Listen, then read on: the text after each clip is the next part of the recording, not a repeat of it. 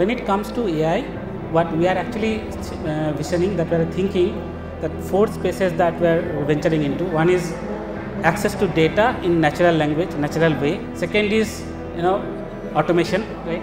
So 90% of you know accounting journey comes with the data entry. So we are trying to automate that thing and, and third is compliance. So we want to make you know effortless compliance effortless via AI.